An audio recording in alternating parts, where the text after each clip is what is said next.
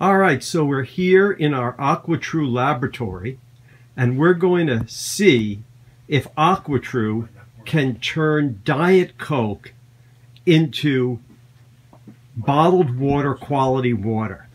And you can see that the clean water tank is starting to fill up with not Coca-Cola, but absolutely pure water. There's not a sign of any Coca-Cola anywhere in there. So it looks like AquaTru is going to be able to turn Diet Coca-Cola back into pure drinking water. So now I'm going to ask Brian to just pour himself a glass of water. Okay, take a sip.